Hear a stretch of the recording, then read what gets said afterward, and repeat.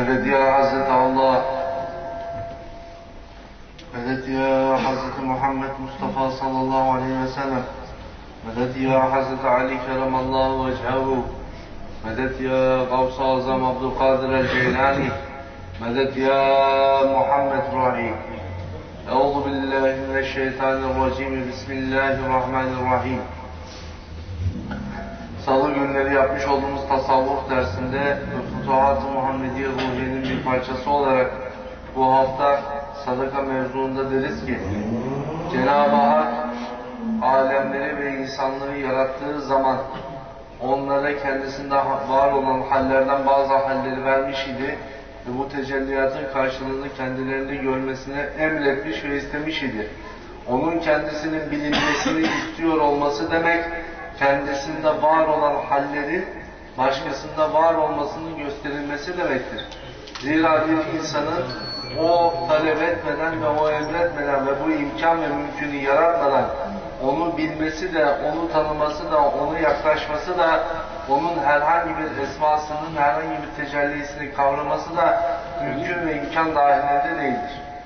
Bu hususu birçok defa bahsettik. Peki sadaka hususu nereden gelmiştir?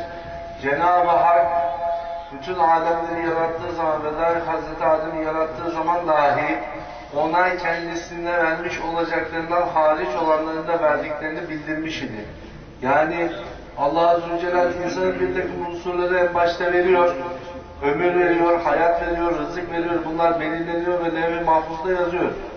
Ondan sonra insanları dünyaya gönderdikten sonra, alemleri yarattıktan sonra bir zaman sonra da kendi kereminden hediyeler sunuyor. Fazladan bu hediyeleri sunuyor ve bu hediyeler karşılığında da aynı yaşam şeklinin de insanların kendi zatında görünmesi istiyor. Yani insanların da kendisine verilmiş olan emirden hariç olarak Allah rızası için vermesine avami olarak sadaka denir.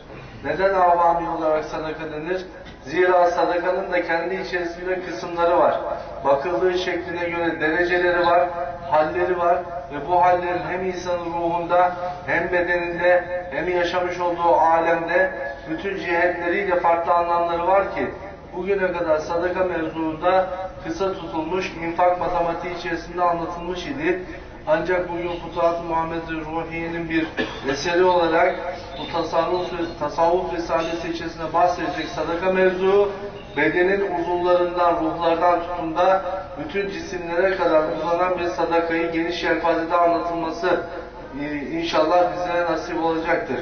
Zira sadaka baştan aşağıya Cenab-ı Hakk'ın rızasına kavuşmak için bir yoldur ki nice Evliyaullah'ın, nice Veliyullah'ın ve nice cenneti kazanmış olanların gitmiş oldukları yol bilseler de bilmeseler de sadaka yolu olmuştur.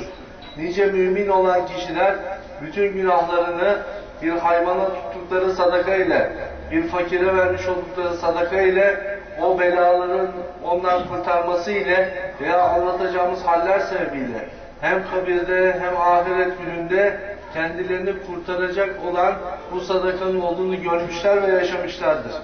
Kimi Evliya Allah'ın da derecesi zaten derecelerin artmasında da önemli bir vesiledir. Ama kimi Evliya Allah'a da evliyalık evliyalık kapısında aralayan bu nitekim Cenab-ı Allah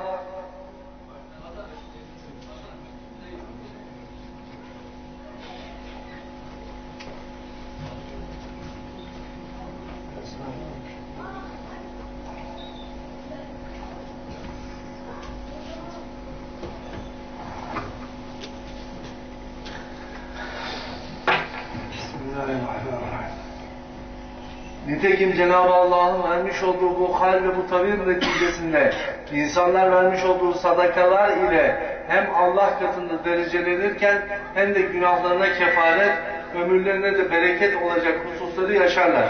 Sadakalar kısım kısımdır. Aynı nefsin halleri gibi nasıl ki nefiste emmareden başlayarak kademe kademe sadaka artar, bu sadakalarda kendi nefsani durumlara göre artar. Yani nice sadakalar vardır şeytanidir, bazı sadakalar vardır ki genelin durumu budur, nefsanidir. Ondan sonra ruhanidir. Ondan sonra da Rabbani'dir. Sadakanın kendi içerisinde başka dereceleri de var. Cenab-ı Hakk'a yükselişte o sadakanın halleri ve neticeleri ve bu neticelerin karşısında bu sadakayı veren ve alanla beraber dahi değişmiş olduğu durum var. Sadakayı ilk başta tanımlarken şunu çok net ortaya koymak gerekir ki sadaka Allah rızası için Allah yolunda ve derecesi geldiği zaman da Allah ile beraber verildiğinde gerçek bir sadakadır. Allah rızası için Allah yolunda ve Allah ile beraber verildiğinde ki şimdi bunları anlatacağız. Allah için sadaka vermek bu nefsin mertebeleri içerisinde anlatmak gerekir ki nitekim birçok kafirler, birçok gayrimüslim ülkelerinde kurmuş oldukları fonlarla, bu fonlardan kurmuş oldukları vakıflarla da aç insanlara, yardıma muhtaç insanlara ne yapıyorlar? Bir sadaka hükmünde düşünülen bir para veriyorlar, bir yardımda bulunuyorlar. Oysa ki bu verilmiş olan sadakanın nihayet ve neticesi en başa bakarsak o insanların kendi çevresinde kendilerinin sevilmesi, hoş görülmesi, kendi işlerinde ve kendilerinden sonra gelecek olan bir menfaate dayalıdır.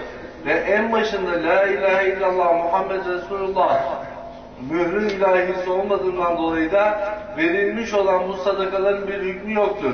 Ancak burada şöyle bir husus var. Cenab-ı Allah bazen müminlerin diğer müminlere yardımını engelliyor. O müminlerin gevşekliğinden dolayı veya o müminlerin hallerinden dolayı ve o sevabı onlardan alıp kafirin elinden gerçekleştiriyor. Yani bir yerde ihtiyaç sahibi bir mümin grup var. Afrika'da, Somali'de, Kenya'da, İstanbul'un göbeğinde fark etmez. Bunların bir ihtiyacı var. Cenab-ı Allah herkesin ihtiyacını karşılayan rezzak olarak o fakire de takdir etmiş olduğu bir rızık var. O gün içerisinde ona 50 lira 100 lira para gönderilecek. Allah takdir etmiş ama onun çalışmaya kuvveti yok, gücü yok, kudreti yok. Ama Allah'ın takdiri gerçekleşecek. Eğer o civarda Cenab-ı Hakk'ın sevdiği, Cenab-ı Hakk'ın razı olmak istediği, günahlarını affederek onu hakikat yoluna döndürmek istediği, günahlarına kefaret olup şifasını vermek istediği bir mümin kul var ise o mümin kul elinden bir nasip ile o ona ulaştırılır. Eğer böyle bir kul yok ise bu küfrün elinden de gerçekleşebilir. Alan kişi için bir şey değişmiyor. Nihayet Cenab-ı Hak'tan gelmiş oluyor. Ancak Cenab-ı Hak oradaki sevabı mümine nasip etmeyecek şekilde orada hakiki bir mümin yok. Ondan dolayı müminlere karşı bir beladır bu. Yani nihayetinde bakarsanız müminin sadaka veremiyor olması gerek maddiyattan gerek maneviyattan gerekse biraz sonra anlatacağımız bütün cihetlerinden sadaka veremiyor olması Cenab-ı Hak ile kendisi arasında kalın perdeler olduğuna işaret eder. Çünkü mümin olan kişiye Allah sadaka kapısı açar. Ne demektir bu? İnsana eğer Cenab-ı Hak seviyorsa, Cenab-ı Hak kendisine yöneltip, onu temizlemek, onu pak olarak, tertemiz olarak kendisine yükseltmek istiyorsa, bir şekilde bu dergahın kapısını nasıl bulduruyorsa, kendi evleri olan bu evlerin kapısını nasıl bulduruyorsa, herkesin buraya bir gelişinin hikayesi var. Öyle oldu, böyle oldu, şundan oldu, bundan oldu derken, bu kapıdan içeri girdik Allah'a şükürler olsun. Sebep ne? Allahu Zülcelal bizi sevdikleriyle beraber olmamızı niyaz etti. Böyle yazdı, böyle arzu etti. Sana bir sebep yarattı. Öyle ki böyle ki derken bu dergah kapısından girdin. Demek ki Allah Zülcelal seninle beraber olmayı ve kendisinin beraber olduklarıyla beraber olmanı arzu etmişti ondan.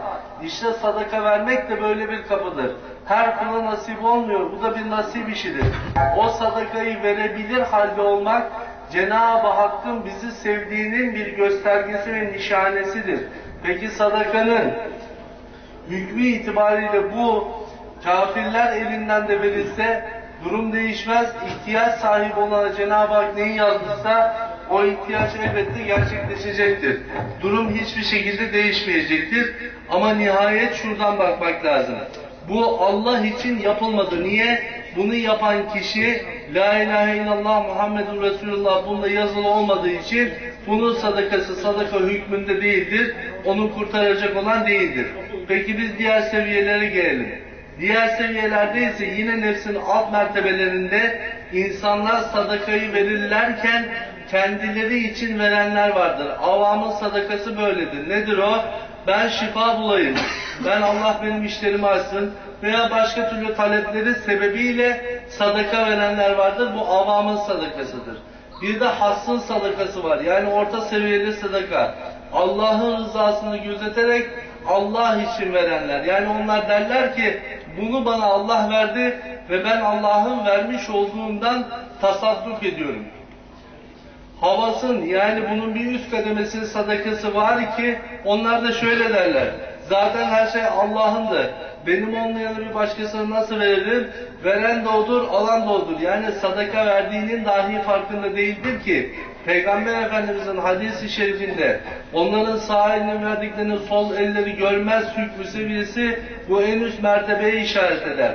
Yani bu öyle bir sadaka haline gelmiş ki veren kişi bu sadaka verişinden dolayı nefsinden ya da içinden bir an dahi bunu veren verdi, ben veren kişi benim diyemeyecek haldedir. Onlar ruhaniliğe doğru giden bir kapıdır bu. Niye? Zaten diyor her şeyin sahibi Allah'tır. Bunları bana kazandıran da Allah'tır, veren de Allah'tır. Ondan dolayı onun olanı, onun rızası için vermiş olmam bende bir artı ya da eksi hükmünde değildir. Zaten mal da onun, mülk de onun, ben de onun. Değişen bir şey yok. Bunun bir üstü daha vardır ki Rabbani'dir. O da der ki, veren de Allah, alan da Allah'tır. Benden alan da odur, bana veren de odur. O sadaka verdiği kişiyi dahi gözü görmeyecek hale gelir bir süre sonra. Bu da Rabbani olan velilerin sadakaları hükmüne geçer. Velilerin sadakaları böyledir. Alan kişinin şahsiyetine bakmazlar. Nitekim insan hepimiz bunu yaşıyoruz dönem dönem. Karşımıza bir dilenci çıkıyor. Dilencinin üstüne başına bakıyoruz. Bakalım kıyafeti düzgün mü, güzel mi, çalışabilecek halde mi? Acaba ben bu parayı vermesem de yaşayabilir mi? Beni kandırıyor mu? Rabbani olanlar ise bundan farklı. Rabbani olan ona baktığı ve ondan talep edildiği zaman talep edenin Cenab-ı Hak'tan olduğunu bilir. Ondan dolayı ne ona verişi ne onun alışı ona hiç dokunmaz. Yani onu bazen görürler Veliullah karşı tarafın yalancı olduğunu. O yalana istinaden değil, Cenab-ı Hakk'a ait olanın, bir kader hükmünde kendi kapısına gelmiş olanın yalan dahi olsa ondan geldiğini bilerek verirler. Çünkü onlar Ali'ye, Veli'ye, yoldan geçene değil, Allah'ın olanı yine Allah'ın bir yarattığını Allah ile beraber verirler. İşte bu sadakanın son ve en yüce halkası. Ne oldu? Allah için verdiler, Allah yolunda verdiler, Allah ile beraberken verdiler. Yani elleri karşı tarafa uzanırken vermiş oldukları şahsın kıyafeti, giyinişi, dokunuşu, hayatı, hesabesi umurunda değil. Neden? O hayatın bütün aşamalarını geçtikten sonra, neslin bütün aşamalarını geçtikten sonra karşısına geçen kulların hallerinin de Allah'ın bir yaratı olduğunu bilerek vahdet-i vücut mantığıyla bakıp Allah'ın tamamı için, Allah rızası için yine Allah ile beraber vermiş olurlar. Dolayısıyla onların sadakası Peygamber Efendimizin beyan etmiş olduğu bu sadakanın en üst mertebesidir. Ve biz deriz ki insan nasıl nefsini adam etmek için dergahlara gelip hepimiz mürşidimize tabi olup onun istek ve arzularını yerine getirirken Cenab-ı Hakk'ın istek ve arzularını yerine getiriyorsak kendimizde tamir etmemiz gereken hallerden biri de sadaka arızamızdır.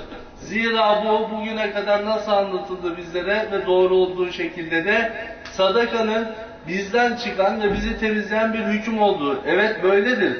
Ancak sadakada sadakayla beraber derece elde edebilmek, o derecelerle Cenab-ı Hakk'ı ustat edebilmenin yollarını da öğrenmek gerekir ki Cenab-ı Hakk'ı ustat ederken nefsimizi nasıl adam ediyorsak sadakayı da bir arıza olarak, kendimizde eksiklik olarak o sadakadan dolayı açılacak olan yolların da kapıların da hakikatine erişebilmek Allah için Allah yolunda ve Allah ile beraberken verebilmekten ve o hale kavuşabilmekten geçer. Nitekim sadaka sadece maddiyat değil, hayatın her alanında yine her şey için ve her şeyle her şeyde Allah'ın olduğunu bilerek gerçekleşen bir hükümdür ki Peygamber Efendimiz pek çok konuda bu konuda pek çok hadisleriyle mevcuttur. Gülümsemenin bir sadaka oluşu, bir dertli kulu dinlenmenin sadaka oluşu, eve götürülen tatlının, hediyenin, arkadaşla, eşe, dosta, ahbaba verilen küçük bir hediyenin sadaka oluşu. Yolda giderken, yolda insanlara cefa veren, sıkıntı veren bir taşın bir kenara alınması dahi bir sadaka olduğu beyan ediyor. Neden? Cenab-ı Hak kendisine ulaşılması için etrafa saçmış, etrafa taşları da, insanları da, dağları da, denizleri de saçmış, onlardan herhangi bir tanesiyle kendisine vuslat edilebilme imkanını yaratmış. Öyleyse bizler önümüze geçen her imkanı kullanabilmek kendi elimizdeyken, vücut diriyken, yaşımız genç iken, imkan var iken bu mümkünden faydalanabilmek üzerimize boynumuzun bir borcudur ki bu Cenab-ı Hakk'a vuslat etme yollarından bir tanesi ve en kolay olanlarından biridir. Allah'a giden yollar arasında kolayları seçmek bizim yaşadığımız ahir zamanda Cenab-ı Peygamber Efendimizin bize açmış olduğu bir yol, Cenab-ı Hakk'ın bize takdir etmiş olduğu bir rahmettir. O rahmet denizinden yürüyerek Cenab-ı Hakk'a kolay yoldan erişebilmek mümkündür. Nasıl? Konuşmanın sadakası vardır. Konuşmanın her şeyin başında ve sonunda sadaka verilmesi en önemli meseledir. Neden? Sadaka bir meselenin iç yüzünün doğru anlaşılabilirken iki taraf için de veya tek taraf için de hakikatin ortaya çıkmasını, oradan hasıl olan sevabın insanın üzerindeki belayı musibeti atarak insan ömrünün de uzatılmasına sebebiyet veren bir meseledir. Bundan dolayı her iş başlarken ve her işte biterken sadaka verir Müslüman olan kişi. Peki her işte bu nasıl olur? Şöyle ki bir konuşmaya başlandı. İki kişi karşı karşıya geldi. Birbirlerine gülümseyerek selam vermeleri sadakadır. Konuşma sadaka ile başlamıştır. Sonra muhabbetin sonuna geldi. İki kişinin yine birbirine selamlaşıp gülümsemesi sadakadır. Bu iki sadaka arasında yapılmış olan her şey Cenab-ı Hak tarafından korunur ve kollanır ki Cenab-ı Allah iki kişi yan yana geldiğinde üçüncüsü benim demesindeki hikmetlerden biri de budur. Yani Cenab-ı Allah başında sadaka, sonunda sadaka olan her işte bizzat kendisinin olduğunu Cenab-ı Peygamber Efendimiz de bize bildirmiştir. Her iş böyle. Günün başlangıç sadakası Cenab-ı Hakk'ın rızası için kılınmış iki rekat namaz, yola çıkarken yapılan dua, evdekilere hayır, hasenat dileyip evden çıkmak günün başlangıç sadakası. Akşam döndüğümüzde kapı açıldığında yine onlara gülümseyerek merhaba demek günün de kapanış sadakası. Sonra gecenin sadakası başlayacak. Gecenin bir yarısında kalkılacak, onunla beraber olmak için, onun yolunda onunla olmak için bir şey harcanacak. O da sadakadır. O sadakada geceyi tamamladığı zaman 24 saatin 24'ünde insan Allah ile beraber olmuş olur. Peki sadakayı vermenin de maddi taraftan bakılınca hükmü nedir? İnsan fakir olabilir, dertli olabilir, eksik olabilir. Ancak sadakaların öyle hükümleri, öyle karşılıkları var ki Allah için Allah yolunda yapıldığı zaman kefili Allah'tır. Bire on verir, bire yüz verir, bire bin verir. Karşılıksız bıraktığı vaki değildir. Çünkü Allah-u Zülcelal'in bulunduğu bir hal ve durum ve ortamda ve mekanda ve zamanda onun kerem ve ihsanının meydana gelmeme ihtimali yok. Çünkü o öyle bir padişah ki tabiri caizse geçtiği her yerde ve olduğu her yerdeki her yerde vardır. O ganimetini dağıtır. Onun her yerde olduğunu bilerek onun tasaddukundan faydalanmak, onun sadakalarından faydalanmak için onun gibi sadaka verebilir olabilmek tabiri caizse onun niyetini yerine getirebilmek gerekir ki karşılıklı olarak bu kapı pencere açılsın ve açılmış olan pencereden de Cenab-ı Hakk'ın rızası gerçekleşmiş olsun.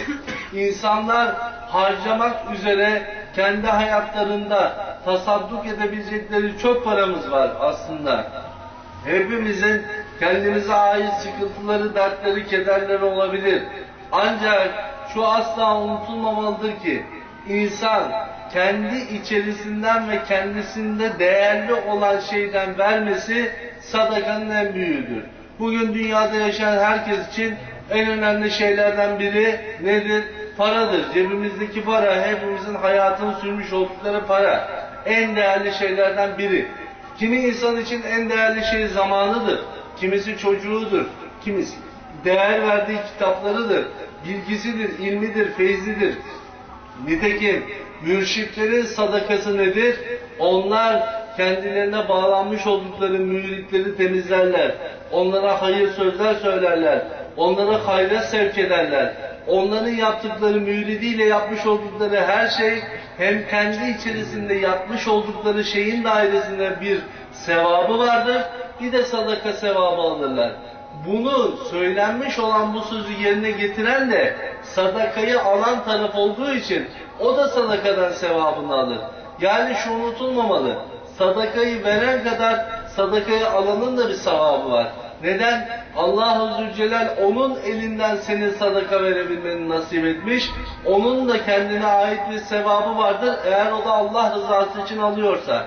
O senden almış olduğu parayla, senden almış olduğu imkan ile Allah rızasına uygun olmayan bir iş için kullanacaksa, içki içecekse, başka bir iş yapacaksa o günahını kendine alır. Ayrı mesele. Ama sadakanın hükmü gereği alanın da verenin de Cenab-ı Hak tarafından korunduğunu o an için her iki tarafın da Cenab-ı Hakk'ın sadaka cariyesinden kendilerine düşen hisseyi aldıkları bilinmelidir ve anlaşılmalıdır.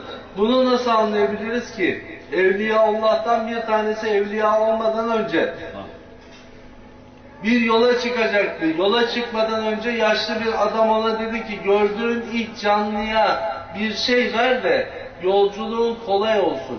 Peki dedi yola çıktı. Tabi o zamanki yollar çöl yolları. Öyle her tarafta evler yok. At üstünde, deve üstünde yolculuk devam ediyor. Devam etti, etti, etti. Yaklaşık 5-6 saat sonra ileride hafif ormanlık bir yerin kenarında, ağaçlık bir yerin kenarında bir köpek gördü. Köpeği de dedi hemen aklına düştü dedi bu ilk canlıdır. Heybemin içerisinde birazcık ekmek var. Bu hayvancağız da burada açtır dedi. Ben buna şuradan bir ekmeği vereyim o yaşlı amcanın da gönlü kırılmasın. Uzattı ekmeği hayvancağıza. Hayvan belli aç susuz ekmeği yemedi. Suyu uzattı suyu içmedi. Cenab-ı Hak emir verdi köpek dile geldi. Köpek dedi ki ona dedi ben senin verdiğini yemem. Dedi ki ben Müslümanım dedi ya nasıl yemezsin ben bunu sana veriyorum. Sen veriyorsun ama dedi ben Allah rızası için olmayan hiçbir şeyi yemem. Ben bağlı bulunduğum kapıda Cenab-ı Hakk'ın bir yaratığı olarak ancak onun rızası için onun elinden verileni yerim. Peki dedi bu nasıl olacak? Ben sana bunu nasıl veriyorum? Sen dedi bunu bu yolculuk rahat geçsin diye kendi menfaat için verdin. Ben menfaat için uzatılan ekmeği de suyu da içmem dedi. Hayvanın bu minnet etme işine, Cenab-ı Hakk'a olan bağlılığına adamcağız hayran kaldı. Köpeğe seslendi. Peki dedi, bu işin hakikatini sen nereden biliyorsun? Vallahi dedi ben öyle bir dergahın köpeğiyim. Öyle bir dergah kapı, öyle bir kapının köpeğiyim ki oralar böyledir. Adam dedi ki bu dergah kapısının köpeği böyleyse kim bilir müridi nasıldır, mürşidi nasıldır. Dedi kalk götür beni oraya. Köpeği takip etti, yoldan da çıktı, ticareti de bıraktı bir kenara. Gitti dergah kapısından içeri girdi. Evliya Allah'lardan bir tanesi oldu, büyük zatlardan bir tanesi oldu. Ne öyle? Sadakayı cariye ile. Köpek ona Allah'ın rızasının nasıl bir şey olduğunu Cenab-ı Hakk'ın niyazıyla dile gelip anlatmaya Cenab-ı Hak nasip etti. Anlattı ve o okulda bir köpeğin elinden, bir dergah kapısının köpeğinin elinden evliya olmak kendisine nasip olurdu. İşte sadaka böyle bir hakikat. O köpek dahi ne dedi ona? Allah için verilmeyip menfaat için verileni ben yemem. Çünkü menfaat için verilenden ancak menfaat elde edilir. Yani bir insan bir insana kendi nefsinin menfaati için bir şey verse bu karşı tarafa sadece menfaatini giderir. Ama kimi zaman görürsünüz veli bir kul bir yere gider fakir bir adama 10 lira verir. O 10 lira olur 100 lira. Bereketlenir. Bitmez de bitmez. Onu alır bitmez. Bunu alır bitmez. Aldığı şeyi satar yeni bir şey alır. Aldığı şeyi satar yeni bir şey alır. O 10 lira adama abat eder fakirlikten kurtarır. Niye? Veliyullah o parayı verirken kendisinde belki de 10 lira bir 10 lirası vardı. Onu verdi. Allah ile beraberken verdi. Çünkü Veliyullah hep Allah ile beraber. Allah için verdi. O kul bu bereketin hakikatini görsün diye verdi. Bu kerametin içerisindeki hakikati görsün de o köpek o adamı nasıl evliya Allah kademesine eriştirdiyse o da Allah'ın bir adamı olarak o kapıların bekçilerinden, o fosların sahiplerinden biri olarak Cenab-ı Hakk'ın hakikatiyle buluşsun diye verdi ve Allah yolunda verdi. Zira sadakanın asliyeti Allah yolunda verilendir. Yani bu adam fakir olabilir, sıkıntıda olabilir veya olmayabilir. Yolda kalmıştır, zengindir ama parası yoktur. Yoldadır. Allah yoluna gidene verilmiştir. O yüzden dolayı da bu sadakanın hükmü ve karşılığı ve derecesi farklıdır. O yüzden sadakayı verenin derecesine göre sadakaların derecesi var ve verilene göre de derece arttıran bir hususiyeti var ve alana göre de bu usul değişiyor. Yani sen bu sadakayı vermek için yola çıkıp arayışta olsan, her atmış olduğun adımın sana vermiş olduğu sevap ve senden sildiği günahlardan haberdar olsak, bugün cebimizde 5 lira vermek için köşe köşe gezer dururuz.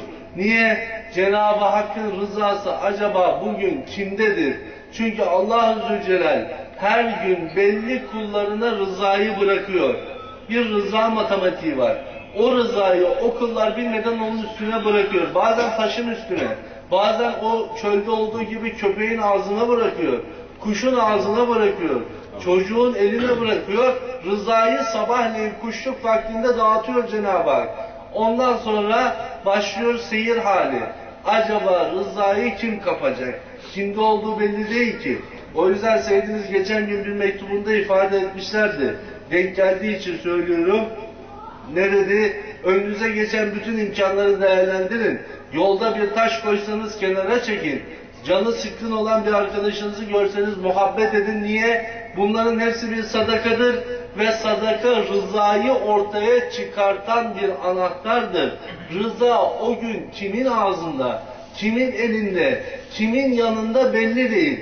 Yani takdiri, tabiri caizse rıza Hızır Aleyhisselam gibi bir şeydir. Herkes Hızır Aleyhisselam'ı arar. Onu görmek, onunla oturmak, ondan bir şey sormak, ondan bir şey almak, ömründe bir kez denk gelmek vesaire. Bu hikayeler çok. İşte Cenab-ı Hak aynı mevzuyu bir benzeri emsalini sabahleyin binlerce maddenin üzerine ve insanlığın üzerine dağıtıyor. Sen o gün artık nerede denk gelirsen o rıza senin hızırın olur. O rıza senin kapılarını açan, Cenab-ı Hak ile arandakileri ortadan kaldıran, o perdeleri kaldırır ki öyle rıza anları var ki 72 yıllık teheccüd vakitine denk düşer. Sen yoldan bir taşı kaldırırsın. O arkandan gelen bir hamile kadının ayağının takılacağı bir taştır. Geceleyin de o kadına anası dua etmiştir. Ayağına taş değmesin diye. Sen o duanın elindeki rıza olursun. Allah'ın eli olursun orada. Haberin yok. Allah'ın eli oldun, taşı kaldırdın. Çünkü o ananın duası hakikate erişecek. O hamile kadın ayağına taş değmemesi lazım. Sana da o rızaya bağlar. Allah'ın eli olarak o taşı oradan oraya kaldırırsın. Oldu sana dört kişi de rızanın kapısından geçti. Ne ile? Bir taşın kalkmasıyla. Arkasında bir dua var. Onun arkasında bir kadın var ve önünde sadakayı yollarda, yerlerde dahi arayan bir adam var. Ve ne oldu o adam? Bir an içinde olsa Allah'ın eli oldu, haberi yok. Kendisinden habersiz. Ama kıyamet günü geldiği zaman Cenab-ı Hak ona nida edecek. Ey kulum, sende ne var ise bakmak bile istemiyorum. Bakmıyorum, hepsini sildim. E ne oldu ya Rabbi? Namazım eksikti, o eksikti, bu eksikti. Vallahi sen dünyadayken benim elim olmuştur. Nasıl oldum ya Rabbi? Bende velilik yok, bende evliyalık yok, bende hiçbir şey yok. Ben bir bomboşum. Ananın biri dua etti, Ben de seni elim ettim. Senin sadakanın niyetine. Çünkü sen o gün sadaka niyetiyle sağa sola bakar idin. Rızamı bir taşa bağlamış idin. O taşı da kaldırırken seni kendi elim yaptım. Dua ile onun eli oldu. Sen o taşı kaldırdın dünyada o an için o yerde, o mekan ve zamanda benim elim oldun. Benim elim olduysa seni ateşe koyamam. Ateş yakamaz bu nuru, bu ziyayı, bu muhabbeti, bu aşkı yakamaz der. Adam cennetten içeriye güle, oynaya girer. Ne yaptı? Yoldaki taşı kaldırdı. Nitekim Cenab-ı Hakk'ın bu incelikler içerisinde olduğunu bilmek esasiyettir. Evet ibadetler, zikirler, taatler bunların hepsi Allah rızası için olduğu müddetçe Allah ile aramızdaki perdeleri kaldıracak ama bütün filmlerin hikayesi bir dakikada çözülür. Öyle değil mi? İnsan eliyle dahi yapılan 120 dakikalık, 200 dakikalık neyse bir filmi seyrediyorsun. Bütün film bir dakika içerisindeki bir olaya bağlanmış. Her şey onun üzerinden cereyan ediyor. Bütün olaylar ne varsa. E bakıyorsun Peygamber Efendimizin peygamberliği zamanında bütün büyük zatlar bir ufak sözle olmuşlar. Geçen hafta anlattık. Hz. Ebu Bekir Efendimizin Sıddıkiyeti, Hz. Ömer Efendimizin, Hz. Osman Efendimizin ve Hz. Ali Efendimizin hali o sadakat, o birliktelik ve o muhabbette saklı bir incelikteydi. Bir an içerisinde bir kıvılcım denk geldi ve Allah'ın rızası onun üzerinden gerçekleşti bitti. O yüzden mümin etrafta sadaka verecek durum ve hali aramakla mükelleftir. Ben ne yapsam da bir sadaka verebilsem ama paramla, ama elimle, ama gülümsemekle, ama güzel sözle, ama eşime, ama çocuğuma kimseyi mi bulamadın? Kimseden mi haberin yok? Git bir hayvancağızın önüne bir tane ekmek alsan bir lira. Bir ekmeği doğru ver, o da o günün sadakası olsun. Mümin kişi sabahını ve akşamını en kötü ihtimalle sabahını ve akşamını sadakasız geçirmeyen kişidir. Yani bu bugün bize öyle bir mihenk olsun ki beş vakit namaz gibi kendimize borç bilelim. Sabah kalkıp işimize giderken bir sadaka, taş hiçbir şey bulamadık, para da yok cepte. Bir taş al koy kenara Allah rızası için. Akşam dönerken sadaka verecek kimse bulamadık. Sadaka imkanımız gene olmadı. Gülümseyelim. Parktaki bir çocuğa top alalım. Oyun oynayalım. Allah rızası için bunlar. Onları mutlu etmek için. Çünkü onlar günahsız. Günahsız olanı mutlu etmenin kefareti çok başka.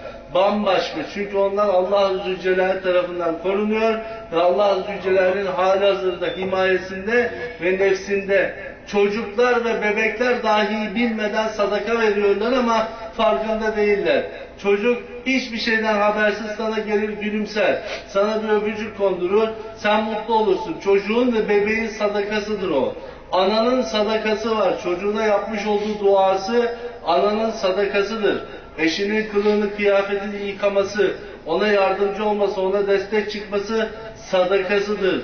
Eşlerin eşlere karşı gülümsemesi ve hayır söylemesi bir sadakadır. Bütün azaların bir sadakası vardır. Her azanın bir sadakası vardır ki namazda vücudun topyekün hareket ediyor olması o sadaka bari namazda gerçekleşsin diye Allah tarafından öyle niyaz edilmiştir. Yoksa Allah Azze ve Celle bize sadece secde edin diyebilirdi. Sadece öyle oturun ve beni anın diyebilirdi. O böyle takdir etti. Neden? Bütün azalarla yap ve bütün azaların namazın içerisinde bir sadaka eda etmiş olsunlar. Yani her uzvumuz da Allah için, Allah yolunda Allah ile beraber bir şey yapması lazım. O yaptığı şeyin adı sadakadır. İster para olsun, ister başka bir şey olsun. Bir mekanda girdik, hiç kimse yok. Selam ver. O mekanda melaikeler var, madde var, şahit olacak. O selamı verdin, sadakadır. O girdiğin yerde yerde bir çöp buldun. Yerde eziyet verecek, koku verecek bir şey gördün. Kaldırdın, sadakadır. Yani sadakaları anlatsak, sadakanın sevabını anlatmaya kalksak, binlerce kez anlatsak, binlerce cilt kitap yazsak bu iş bitmez. Bir şeyden tasarruf etmek sadakadır. Çünkü o tasarruf neticesinde ortaya bir artı değer çıkar. Belki ortaya çıkan artı değerden Allah rızası için bir başka yerde harcarsın. O harcamış olduğun da şey de senin için sadakadır. Ve bu sadakalar senin arkandan, senin defterinin kapanmadan yazmaya devam eder. Seyitimiz pek çok su kuyuları açtırdı. Dergahımızdaki kardeşlerimizin de yardımıyla beraber elhamdülillah dünyanın dört bir yanında şimdi Pakistan'da, Afganistan'da birçok yerde Seyidimizin fotoğrafı duvarda asılı. Daha onun haberi olmadan binlerce insan her gün ona muhabbet duyuyor. Her gün ona dua ediyor. Dünyanın bir köşesinde kuyu açılmış. Artık o vefat ettikten sonra da ömrü billah devam edecek olan bir sadaka, okulu, hastanesi, çeşmesi, senin güzel bir söz söylemişsindir adama. Bilmediği bir hakikati anlatmışsındır. İlminle zekatı söylemek ve aktarmaktır. Ama onu yaşamak da lazım tabii ki. Onu aktardın, adam öğrendi bunu. Bu hakikati yapmaya başladı. Ona da yazıyor, sana da yazıyor. Çocuğuna mı öğretti? O çocuğuna, o çocuğuna kıyamete kadar ne kadar yapılan iş varsa bu sadaka sana yazılmaya devam eder. Peki sadaka ömrü nasıl uzatacak peki bu haliyle? Ömrü uzatan şey Allah için para vermekte yatmıyor. Ama nihayet bir sadaka da yatıyor. Neden sadaka da yatıyor? Cenab-ı Hak kendisi için kendi yolunda ve kendi ile yapılmış işlerin tamamını bereketlendirir. Bu en hakiki şey. Peygamber Efendimiz de bizim dikkatimizi çekmek üzere diyor ki sadaka öyle bir, bir berekettir ki ömürleri bile arttırır. Yani o bir nihayettir. Tek bir sonuç değildir. Peygamber Efendimiz sağ el, sol el örneğinden verdiği gibi burada verdiği örnekte diyor ki sadakanın Allah katında takdir olunmuş bereketi o kadar büyük ki senin ömrün dahi uzar. Lehvi mahfuz, kalem onda, defter onda. 60 yazar, 70 yazar, 170 yazar. Kim ne diyebilir? Hiç kimse hiçbir şey diyemez. Nihayet o sadakaya onu bağlamış. Neden? Çünkü kendisi vermeyi çok seviyor da ondan. Kendisi fazladan bol bol herkesi cennetine, hakikate, güzelliğe dönsün diye Cenab-ı Hak hep vermenin tarafındadır. Almak, yakmak, mahvetmek, perişan etmek derdinde olan bir zat değil. O öyle bir padişah ki kendi toprağında yaratmış olduğu her canlının en güzel şekilde yaşamasını arzu edendir. Bizim çile çekmemizi, azap görmemizi, mahvu perişan olmamızı isteyen bir zat değil. Hep gülümsememizi, hep huzurlu olmamızı, dünyamızda da ahiretimizde de Rabbena atina fid dünya haseneten ve fil ahireti haseneten ve gina azabennar. Dünyada, ahirette, anamızda, babamızda, arkadaşlarımızla, dostlarımızla, cemaatimizle, mürşidimizle, sevdiklerimizle, evliya Allah'larla ve Peygamber Efendimizle beraber cennetimize girmemizi isteyen Cenab-ı Hak'tır. Her şey bu bereketin içerisinde yaratmış. Çünkü vermeyi seven, vermeyi çok seven olduğu için vereni gördüğü zaman da tabiri caizse kendisi daha da çok vermek istiyor. Bu bu kadar net bir şey. Bir adam kendisi bir şeyi çok seviyorsa o sevdiği şeyi bir başkası yaptığında gördüğünde de sevinir. Öyle değil mi? Şimdi bir insan futbol oynamayı çok sevse veya bir başka şeyi, kitap okumayı çok seviyor olsanız bir başkası kitap okurken görürken mutlu olursunuz. Sanki okuyormuş gibi. Kendiniz zevk alıyorsunuz ya. Veya bir yemeği yemekten çok zevk alırsınız. Başkası yerken de çok zevk alırsınız. Çünkü sen seviyorsun. Onu yemeyi, onu içmeyi, onu okumayı, onu yaşamayı sevdiğin için bir başkası da aynı hakikati yaşadığı zaman aynı hazzı yiyormuşçasına hissedersin. Ve Cenab-ı Hak kendisi vermeyi çok sevdiği için sınırsızca verdiği için, bizim gibi sınırlı olmadığı için bir kulu kendisine çizilmiş olan sınırları aşmak dahi ve pahasına da olsa verme niyetinde olduğu zaman mutlu oluyor, seviniyor. Benim gibi, benim yaratmış olduğum kul, benim en sevmiş olduğum bir hakikat ve hali yaşıyor.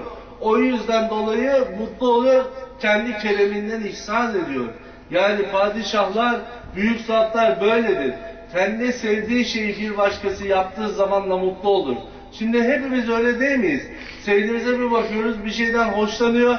Herkes onun hoşlandığı şeyden hoşlanmaya başlıyor. Sonra sevdiğimiz öbür insandan hoşlandığı için o hoşlanıyor. Bereket gidiyor geliyor, gidiyor geliyor, gidiyor geliyor. Bir feyiz, bir nur ortaya çıkıyor. Çünkü bütün gidiş ve gelişler hakikat-ı muhabbet, muhabbettir.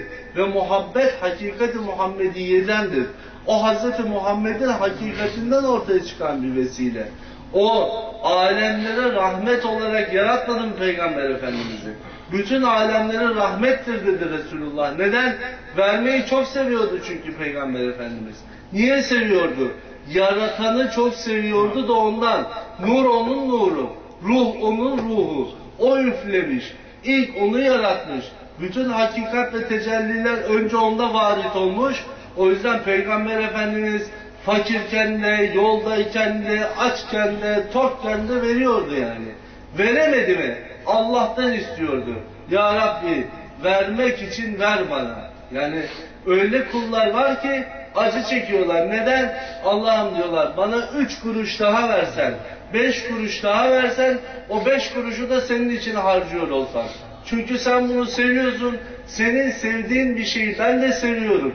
Senin sevdiklerini seviyorum. Senin sevmediklerini de sevmiyorum. Cimriliği niye sevmez büyükler?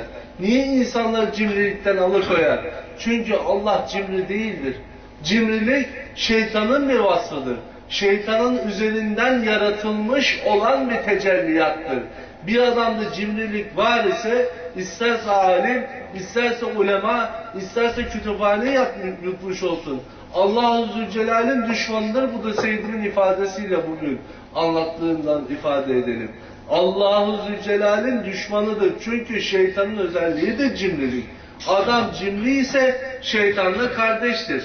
Sen ondan sonra istediğin kadar ilim sahibi ol, istediğin kadar bilgi sahibi ol. Hiçbir şey veremesek verecek her zaman bir şey buluruz. Nereden bahs açabiliriz bunu?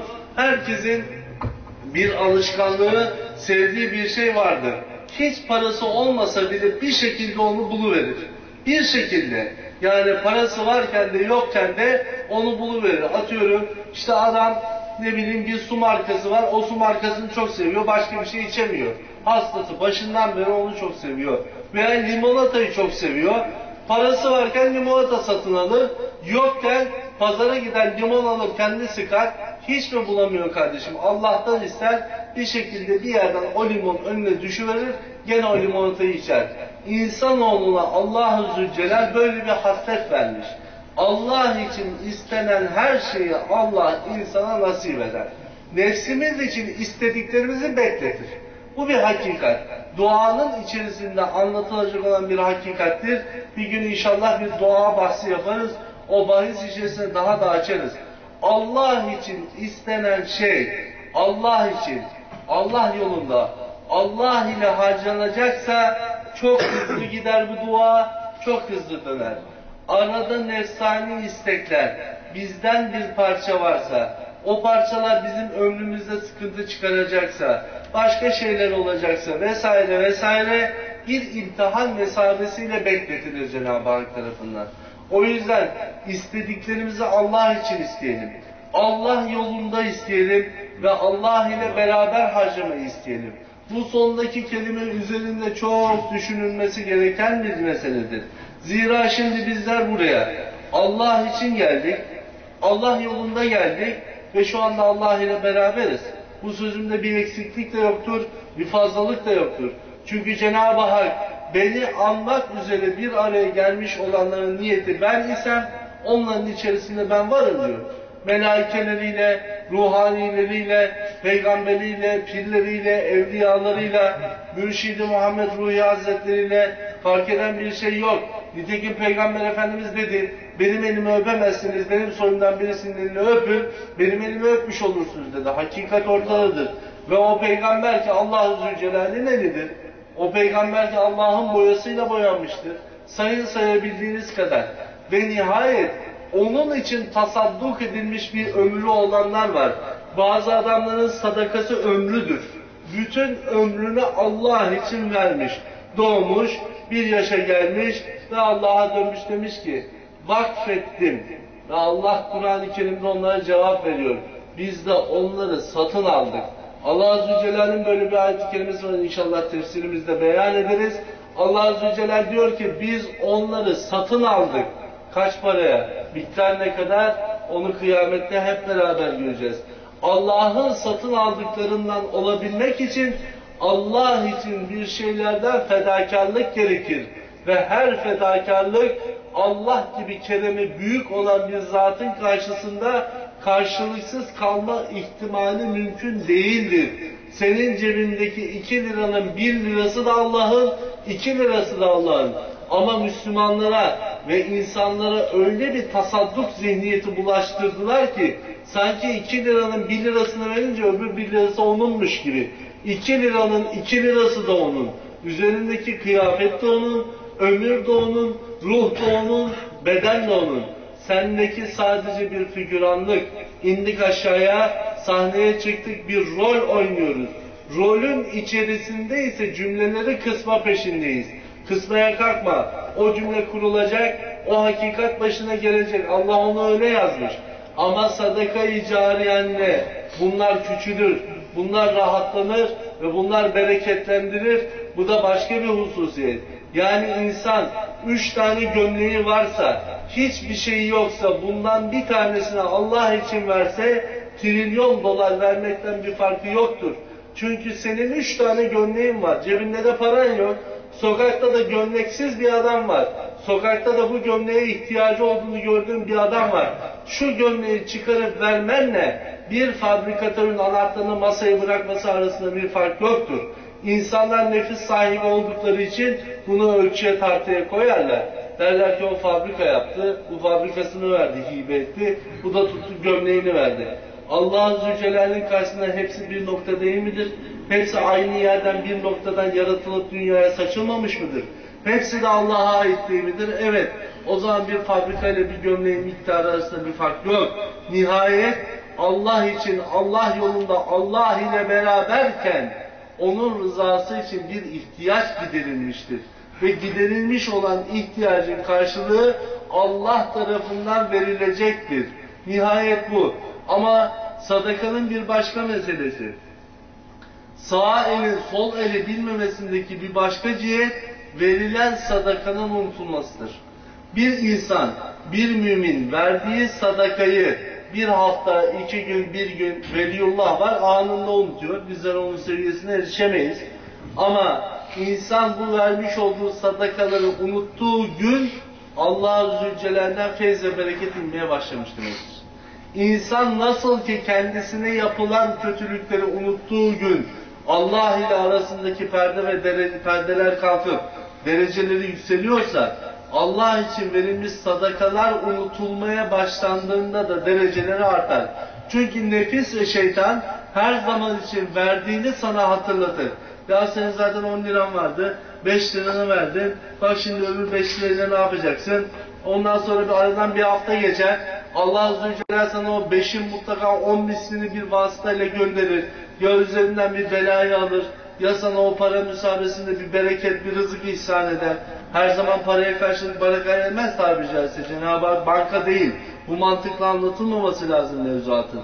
Cenab-ı Hak senin üzerinden öyle bir hastalığı alır ki 2 trilyon versen o hastalığı iyileştirmen mümkün değil. Şifası zor bir hastalık verdi. O sadakanla şifayı kaldırdı. 5 lirayla belki sen üzerinden bir kanser hastalığından kurtuldun haberimiz yok. Ama nefis sana şunu söyler bir hafta sonra da. Ya bak hatırlıyor musun? Bu sefer de terse döndürür işi. Bu sefer sağdan yaklaşır. Hatırlıyor musun? Sen 5 lira vermiştin. Ne güzel kursun, ne hayırlı kursun der. Seni de bir hafta uyutur. O bir hafta onun tadı, zevkiyle seni temaşa ettirip bir 5 lira daha verme diye. Yani şeytanın iki vasfı var. Önce yapma diye uğraşır. Yaptıktan sonra da yaptığını hatırlatmakla uğraşır. O yaptığını hatırlatırken sen de kendi vicdanında yalan yere duymuş olduğun seslerle zaten vermiştim, zaten vermiştim, zaten vermiştim deyip bir haftayı daha daha geçirirsin. Ama hakikati ilahiye nedir? Vermiş olduklarımızı bir an önce unutalım ki öbür sabaha tekrar vererek uyanalım. Her sabah bir şey vererek her akşamda bir şey vermiş olarak geri dönelim. Ve işin gecesi yansıdığı zaman o sadakanın rızası bizde hakikat olsun. Allah da bize sadakasını göndersin. Sabah sadaka verenler, akşamleyin bu sadakasını tamamlayanlara gece teheccüd vaktinde Allah kendi sadakasından vermeye başlar. Açar perdesini, sabah verdin, akşam verdin. Sıra bana geldi, şimdi ben sana vereceğim. Başla. Ne istiyorsun? Eksik ne var? Gedik ne var? Sıhhat mı? Sağlık mı? Derece mi? Muhabbet mi? Aşk mı? Tabi muhabbet sahipleri paranın bunun peşinde değildir. Allah için vermiştir. Allah yolunda vermiştir ve Allah ile beraberken vermiştir. Bu cümleyi çok söylüyorum ki hep beraber ezberleyelim. Sadakanın hükmünü iyice anlayalım. Sadakanın her yerde, her şekilde, her işte olduğunu verelim. Buraya bu peçeteyi getiren adamın getirdiği peçete kendisine ait olmasa da benim bir sıkıntımı çözdüğü için, benim terimi silmeme vesile olduğu için vermiş olduğu bir sadakadır. Allah'ın rızası bugün bu peçetede olup olmadığını kimsenin haberi yok. Allah'ın ordularının sayıları bilinmediği gibi Allah'ın rızalarının sayıları ve yerleri de belli değildir. O yüzden mümin bir şahin gibi, bir asker gibi sürekli Allah'ın rızasını kovalayacak ve sadaka vermek için uğraşacak. Parasıyla olur, maneviyatıyla olur, güzel sözüyle olur, gülümsemesiyle olur, bir çocuğun şakasına katlanmak da olur, bir delinin cefasına katlanmak da olur. Cefaya katlanmak da bir sadakadır. Öyle cefakar arkadaşlarımız olmuştur, nice belalarla yaşamışlardır. O belalara susmaları bir sadakadır. O fitnelere susmaları bir sadakadır. O dedikoduları yapanlar gelip kendilerinden özür dilediklerinde özürlerini Allah için affetmeleri bir sadakadır. Anlat anlatabildiğimiz kadar sadakanın sonu ve nihayeti gelmez. Birazdan inşallah kısa bir yerden sonra bu sadakanın vücudumuzdaki hakikatleri o vücudumuzda meydana getirmiş hallerden inşallah kısaca bahsedelim. Sadakanın madde üzerindeki hükümleri ve genel izahını yaptık. Gelelim mana tarafına, tabiri caizse batini tarafına. Yani işin melekut alemindeki alemler üzerindeki hakikatine ki orada bize bir perde var. O perdeyi açıp bakınca görülür ki bir sadaka taşı mevzuatı var. Osmanlı zamanında biliyorsunuz cami avlularında farklı yerlerde sadaka taşları vardı. O sadaka taşlarına giderler, sadaka sahipleri sadakalarını bırakırlar, ihtiyaç sahipleri de gider alırlardı. Peki buna neden taş denmiş? O zaman içerisinde Evliya Allah'tan bir tanesi ki Mimar Sinan da Evliya Allah'tandır. Gördüler ve fark ettiler ki sadakanın çok verilmiş oldukları bir kutu, bir mekan, bir yer olduğu zaman burayı melaikeler yaşam yeri addediyorlar. Yani şöyle şöyle ifade edelim. Şimdi mesela burası bir zikir meclisi. Bu zikir meclisinde sürekli zikir yapıldığı için ve bir adet haline geldiği için ve buranın bir mürşidi olduğu için de tabii ki bu hakikat ilahiye gereği buradan melaikeler ve ruhaniler hiçbir zaman eksik olmaz.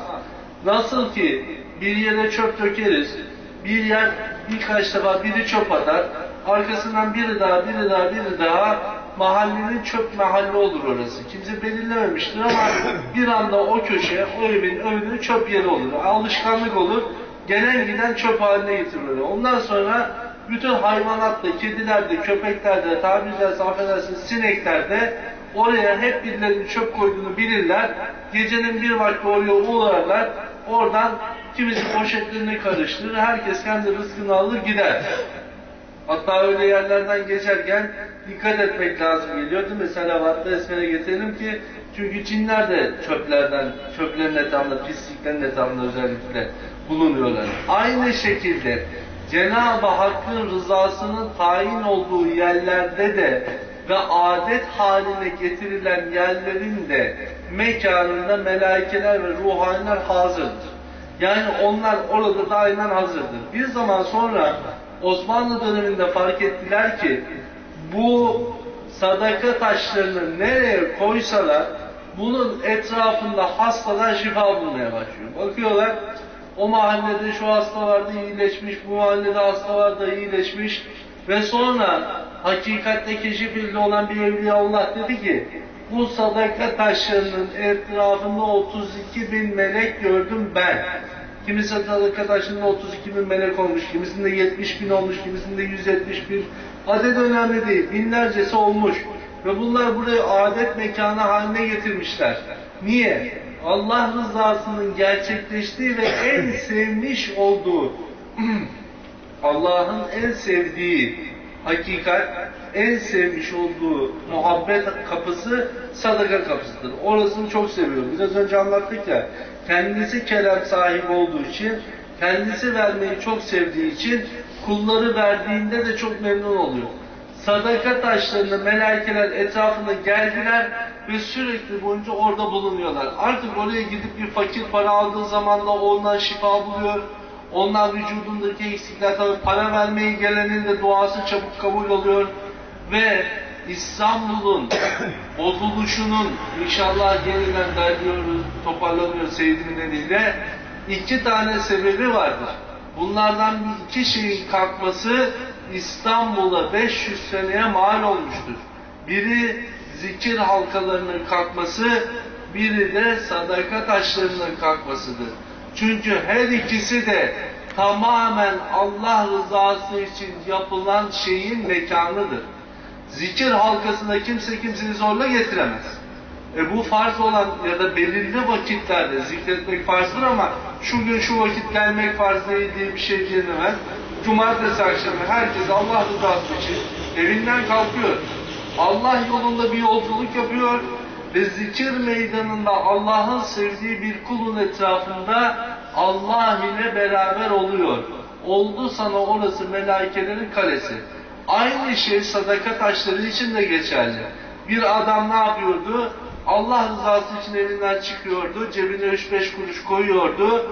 Allah yolunda yürüyordu sadaka taşına kadar ve Allah'ın olmuş olduğu mekanda melaikeleriyle beraber tecelli ettiği alanda o sadaka taşını eline sokup bırakıp çıkıyordu. Ve bütün camilerin tamamında bu sadaka taşları var idi. Çünkü sonradan bu hakikati anladılar ki hakikati anladılar ki sadaka taşları sadece fakir fukaranın derdini çözmekle kalmıyor. Aynı zamanda o camiyle beraber bütün şehrin koruması, bütün şehrin şifası ve bütün şehrin belalarının defni merkezi oluyor ki burada garip bir şey daha var. Bizans döneminden kalma eserlerden bir tanesi Sultanahmet'teydi. Sonra yıkıldı gitti. Bizans zamanında dahi paraların atıldığı yerler vardı. Bugün de niyet için para atıyorlar ya havuza. O işin esası Bizans döneminde yine zenginlerin para attığı, fakirlerin de para attığı bir yerde ama orada tabii ki Allah'ın rızası yoktu vesaire ama oradan fakirler de nemalandığı için, müminler de nemalandığı için Cenab-ı Hakk'ın bir inayeti vardı. Bu hakikat bütün dönemlerde varid olmuştur. Yani hep bir yerde toplanmıştır. O toplanılan yerdeki sadaka taşları o şehrin koruyucu meleklerinin oluşmasına, o şehrin korunmasına ve o şehirdeki hastalıkların, belaların defolup gitmesine sebep olmuştur. Ama ondan sonra bu sadaka taşları zikir halkaları gibi şehrimizde ve bütün şehirlerde azaldı gittiler. Onlar azalınca ne oldu? Melaikeler gelmez oldular ve nihayet bu hastalıklar, bu belalar arttı. Ama şimdi o sadaka taşları başka yerlerde, tekkelerde, dergahlarda var. Sonuçta bakın burada da bir tane sadaka taşımız var elhamdülillah. Onun başında da bir adet mahalli olduğu için onun başında da melaikeler var. Bu melaikeler de oraya para atana da dua ederler, parasını alana da dua ederler. Nihayet değişmez. O şifanın kaynağı varid olur, gerçekleşir. O yüzden Osmanlı'nın yıkılış sebeplerinden bir tanesi de o sadaka taşlarının ortadan yavaş yavaş kalkması, ondan sonra başa gelen belaların sebeplerinden bir tanesi de budur. Hem sadaka taşları onun etrafındaki kimisinde 32 bin, kimisinde 72 bin. Bunlardan bir tanesi Süleymaniye kapısında en fazla melaikelerin olduğuydu. Zamanın birinde hastalar bu sadaka taşının dibine yatırırlardı. Derlerdi ki bu sadaka taşında şifa vardır. Çünkü söylenmişti bunun etrafında melaikeler var. Sadakayı verenlerin elinden gelen sadakalarla Cenab-ı Hakk'ın bir mevkii olmuştur denilerek melaikelerden şifalar umulur. Ve o sadaka başında sadece fakirler değil, zenginler de para attıktan sonra beklerlerdi ki o melaikeler dualarına amin desin ve şifalarını bulsunlar. Ve gerçekten de bu kerameti, bu mucizeyi Cenab-ı Hakk'ın bir ilahi tecellisi olarak yaşarlardı ve yaşamaya da devam etmişlerdi ama sonra bunlar ortadan kalkınca bu sıkıntılar, bu belalar daha çok arttı. Çünkü sadaka sadece veren ve alanla neticelenmeyen bir iş. Sadaka aynı zamanda merhamet hakikatini ortaya çıkarır ve insanların birbirine ve kendisine duyduğu merhameti ortaya çıkarır. Çünkü bir insan bir başka insanın sıkıntısını giderdiğinde Allah rızası için o Allah evinin Allah Zülcelal'in mescidini imarı için Allah Zülcelal'in yolunda harcadığı zaman kendisinde eksik olan merhamet duyguları tamamlanmaya başlar. İnsanda bazı duygular vardır. Bu duygular zikirle, ibadetle değil, hal diliyle, hal ibadetiyle gerçekleşebilir ki sadaka-i ve Allah yolunda harcananların da insan ruhunda meydana getirmiş olduğu derece ve tecelliler böyledir. İnsan sadaka verdikçe daha da merhametleşir ve daha da ruhaniyeti, ruhaniyeti genişler. Çünkü insan verdikçe daralmayan, verdikçe genişleyendir. Bunu nereden biliyoruz? Cenab-ı Allah bu kadar kelam sahibi olup dağıtmakla kendisinden bir eksiklik olmuş mu? Olmamış. Aynı şey kullarına da söylüyor. Diyor ki ey kulum benim rızam için benim yolumda benimle beraberken vermiş olduklarından dolayı dara düşmezsin. Çünkü ben onun içerisine darlık değil, sadakanın içerisine genişliği koydum. Eğer genişlik arıyorsan, eğer ferahlık arıyorsan, eğer şifa arıyorsan, muhabbetin ve merhametin kendi vücuduna yerleşmesini istiyorsan, kaim ve daim olmasını istiyorsan sadaka ver. O sadaka sendeki merhameti giderir, merhamet eksikliğini giderir. Kimde merhamet eksikliği varsa onda cimrilik fazladır demektir. Çünkü cimrilik sadakanın zıttı olan, vermekten çekinmek. Verirsen sıkıntıya girerim, eksilir, param eksilir, zamanım gider, şu olur, bu olur diyerek vermemek cimriliktir. Ve cimrilik insanın merhamet duygusunu ortadan kaldırır. Merhamet ortadan kalktığı zaman da Cenab-ı Hakk'a duyulan muhabbet düşer, ortadan kalkar. Allah ile muhabbet ortadan kalktığı zaman da dünyanın yaşayacağı sıkıntıların gerisini varalım hep beraber düşünelim ki dünyanın düşmüş olduğu hal bu haldir. Nitekim Peygamber Efendimiz kendi sahabesine en az iman kadar, en az ibadet kadar, en az iyilik ve güzellik kadar sadakayı sürekli söylerdi. Bunun sebebini Avrupalılar ya da karşı dindekiler nasıl anlattılar? E tabii ki sadaka toplayacaktı ki kendi ihtiyaçlarını gidersin. Ordusunun, askerinin, şusunun, busunun. Hayır. Allah-u Zülcelal Hazreti Peygamber Efendimiz'e verdikçe verecekti zaten. Fark eden bir şey yok. Neden? Emir verilmişse, Mekke fethedilecekse, Medine'ye hicret edilecekse ki Allah bunları yazmış, Peygamber Efendimiz'in eliyle bunlar gerçekleşecek.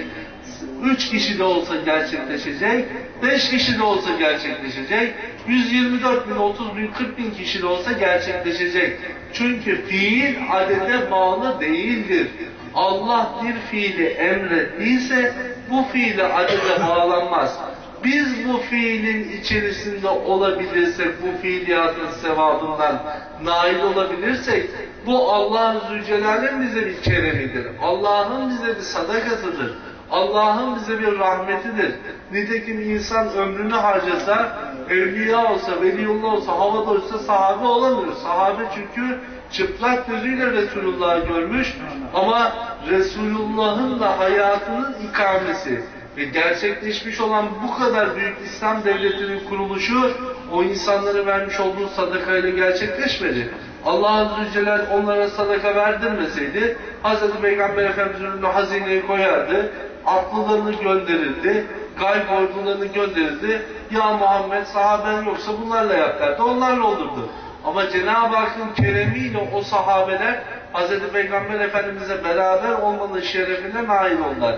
Biz şimdi aynı sahabenin şerefine nail olabilmek için onun sevdikleriyle beraber oluyoruz ki onunla beraber ahiret günü Resulullah bizi tanısın. Bunlar sahabem değil ancak benim evlatlarımla beraber onlardan bir sahabedir. Onlar da benim onlar da benimledir desinler diye biz de sevdikleriyle beraber olma gayreti içerisindeyiz. Ve o en sevdiği Hazreti Peygamber bütün sahabesine her zaman sadakadan bahsetmiş. Yani sadece zenginleri toplayıp sen sen sen gelin siz sadaka verin dememiş. Bütün ümmeti Muhammed'e fakir zengin ayırmadan sadaka verin demiş. Çünkü sadaka insandaki hastalıklardan, manevi ve maddi hastalıklardan kurtaran, merhameti ve ferahı ortaya çıkaran şeydir. Sadaka verdiğimiz zaman iki şey olur. Bir, darlık, nefsin ve şeytanın darlık gösterdiği şeyde Cenab-ı Hak ferahlık addeder, o küçük noktayı genişletir, ferahlık addeder. İki, insanda merhamet duygusunun gelişmesine sebebiyet verir. Çok sadaka verenler çok merhametlidir ve merhamet dereceleri yükseltir ki Cenab-ı Hak'la muhabbet edebilmek için insanın ruhunda bazı vasıflar olması lazım. O vasıflar olmayınca o kapıdan içeriye girilmiyor. O vasıflardan bir tanesi de merhamet olabilmektir. Merhametin olabilmesi için de müminin cömert olması lazım. Ama cömertlik paran varsa paranla, değilse muhabbetinle, değilse hizmetinle, değilse bir başka mümini veya o mescitteki bir eksiği gidermekle, o mescitte yapacağın hizmetle ve bütün bunların tamamı birleştiği zaman müminin mümine sadakasıyla gerçekleşir. Sen bir fakire bir şey verdiğin zaman, bir yerin bir eksiğini bir giderini tamamladığın zaman sen bu fiilin bir parçası olmanın şükrünü eda etmelidir ki eskiden büyükler sadaka verdikleri zaman şükür namazı kılarlardı. Neden? Ya Rabbi bana sadaka vermeyi nasip ettin, beni sadaka verenlerden seçtin. İyi ki sen seçtin, sen seçmeseydin bu sadaka bu kutudan içeri girecek. Bu sadaka taşına 100 lira yazıldıysa bugün bu 100 lira girecek. Elhamdülillah sen beni seçmişsin ki, sen beni yazmışsın ki bu kutudan içeriye bugün ben koyabilme imkanına nasip oldum. Demek ki sen beni bugün salih kulların arasında beni almışsın. Zira Cenab-ı Hak seni almasa, beni almasa ben bu sadakayı verebilme imkanına kavuşamam. Ona kavuşamazsam da o hakikate erişemem. Dolayısıyla oradan alandan ziyade verenin şükretmesi esastır. Alan zaten ihtiyaç sahibidir. Gelen de Allah Azze Celle'den gelmiştir. Şükrü Allah'adır. Bir sıkıntıya Cenab-ı Allah sıkıntısını gidermiştir. Ama verende iki tane ferahlık vardır. Niye veren el alan elden üstündür? Çünkü verdiği zaman hem kendisindeki merhamet ortaya çıkar, o hastalığı giderilir, cimrilik hastalığından kurtulur, hem de darlıktan genişliğe bir kapı açılarak hem ruhen, hem madden, hem manen Allah Azze Celle'yle yakınlaşır. O yüzden fakir aldığında iki rekat şükür namazı kılıyorsa, zengin verdiğinde dört rekat şükür namazı kılmalıdır. Çünkü alan verenden üstünse, verenin daha fazla şükretmesi gerekir ki, vermiş olduğunu Cenab-ı Hak ona nasip ettiği için, Allah Azze şükredenlerden olmuş olsun. O şükür kapısının da bir anahtarıdır. O merhameti genişletir, o insanın ruhunu genişletir. Ve insan merhametli oldukça karşısına gelen hallere karşı direnci artar. Bir adamın direnç problemi varsa, stres yükü fazlaysa ya da yaşamış olduğu stresleri kaldıramıyor, sinir krizleri geçiyor, hep sinirliyse, gülümseyemiyorsa sadaka vermelidir.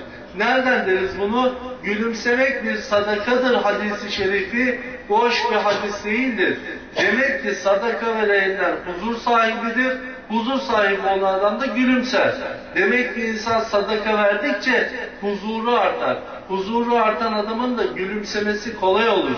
Öyleyse stres ve o strese bağlı olarak sıkıntı sahiplerine deriz ki elimizde ne varsa üç kuruş beş kuruş hiçbir şey yoksa o muhabbetle, o hizmetle o sadakayı Allah bize nasip etsin ki bizler gülümseyebilenlerden olalım. O Cenab-ı Hakk'ın huzuruna erenlerden olalım ki o huzur bizim ruhumuzu genişletsin. Kaos halinden kurtuluşun da bir çaresi, bir hikmeti yine o sadakadır. Ve o sadaka sadece elimizin sadakası bu. Bir başka sadaka gözümüzün de bir sadakası var. Güzel şeye bakmak Allah rızası için Allah'ın yarattığı güzelliklerden tefekkür ederek onlara bakmak da bir sadakadır. Kur'an-ı Kerim'e bakmak, onun sevdiği bir kula bakmak, o kula bakarken güzel hasretlerle dua etmek gözün sadakasıdır. Kulağın sadakası nedir? Sabahtan akşama kadar dedikoduyla, televizyonla, fitneyle, belayla kulak kirlenmiş. Sadaka ne yapar? Sadaka bir temizleyici, bir sabun, bir deterjan. İnsanın ruhunu temizlediği gibi azalarını da temizler. Kulak problemi yaşıyorsun, kulak kirlenmiş. Geldin ilim meclisine, kulağın sadakasını ödüyoruz. O ilim meclisinden dökülen feyiz ve bereketi dinliyoruz. Bu da kulağın sadakası. Burnun sadakası nedir? Cenab-ı Hakk'ın yaratmış olduğu güzel kokulardan koklamak ve o kokuyu da başkalarına sürmektir. O da bir sadakadır. Çünkü bir başkasının burnundan girecek olan güzel kokuyla burnunun sadakasını ödetmeyi Cenab-ı Hak sana vasıl olmuş. Cebine koyduğun bir şişe küçük kokuyla hem kendi sadakanı ödüyorsun hem de başkalarının sadaka ödemesine sebebiyet veriyorsun. Sadaka üzerine sadaka etmiş oldun. O da bütün elde edilmiş olan bütün burunlar hasıl olan sadakanın tamamını sana nasip, sana nasip olmuş oldu. Ağzın sadakası da vardır, dilin de sadakası vardır. Nasıl insan bir şey yiyor, gitti bir yerden bir kilo elma aldı. O elmayı yemeye başladı. O elmadan bir başkasına vermesi kendi kursağından geçecekken, kendisini doyuracakken, kendisini yarım aç bırakıp nefsini ezip onu bir başkasıyla paylaşması bu da sana gırtlağın sadakası oldu. Nefesin bile sadakası var. Güzel havayı aldıktan sonra Cenab-ı Hakk'a şükretmek o nefesin sadakası oldu. Midenin sadakası az yemek. Az yiyip yiyemediklerini başkasına pişirip ikram etmek o da ikramın sadakası var. O sofranın da bir sadakası olmuş oldu. Ayağın sadakası nedir? Allah için Allah'ın evlerine gitmek, mescitlere, dergahlarına gitmek, onları Allah rızası için ziyaret etmek. O ziyarette ayağın sadakası ödenmiş oldu.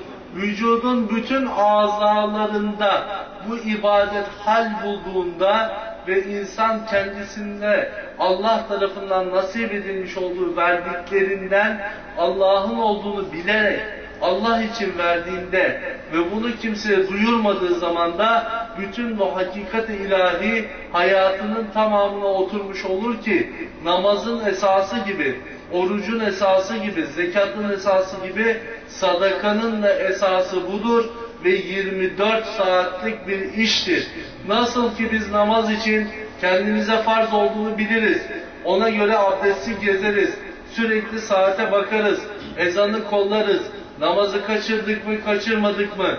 İbadetimiz eksik olur mu, olmaz mı diye dertlenirsek aynı derdi sadaka için duymakta mükellefiz. Çünkü bu Allah'ın en sevmiş olduğu ibadetlerden bir ibadettir. Allah'a giden en kestirme yollardan da biridir ki Allah Azze Celal o cömert olan kişilere karşı kendi cömertliğinden vermek üzere cennet kapılarını ardına kadar açmış ve hem kabirde hem kıyamette hem ahiretin o en dehşetli gününde o cömertleri tabiri caizse kayırmış ve kayıracağını da beyan etmiştir. Çünkü o cömertler ki kendisinde var olan neyse hepsinin Allah'tan olduğunu bilir, Allah için harcarlar ve Allah için harcarken de Allah'tan geleni Allah'a verdim. Tabiri caizse haydan geldi, hu'ya gitti. Ondan geldi ona gitti zaten onundu derler. İşte bu sadaka en yüksek mertebenin sadakasıdır. İçerisinde menfaat yoktur. İçerisinde nefis yoktur. İçerisinde birisi verdi desin diye demek yoktur. Teklif yoktur, kabul yoktur. Hepsinin Allah'tan olduğunu bilirler ki oruç gibi bunun da karşılığı Cenab-ı Hakk'ın özel hediyeleri içerisinde verilecek olan hediyeler kapsamındadır. Cenab-ı Hak bizim onun hayırlı ve cömert kullarından olmamızı, onun vermiş olduğu cömertlik ile Allah'ın dergahlarına, onun sevdiklerine, onun rızası için onunla beraber hizmet etmeyi, cömert olmayı ve cömertliğiyle beraber Allah için dağıtmayı bize nasip etsin. Allah Zülcelal bizi merhametli etsin, bizi cömert etsin, kapısından ayırmasın ve bize sadakayı hayatımıza bir ibadet, hal, hem ruhi hem bedeni hem maddi hem manevi olarak yaşamayı bizlere nasip etsin ki bu da bir nasip işidir. Amin. Velhamdülillahi Rabbil Alemin.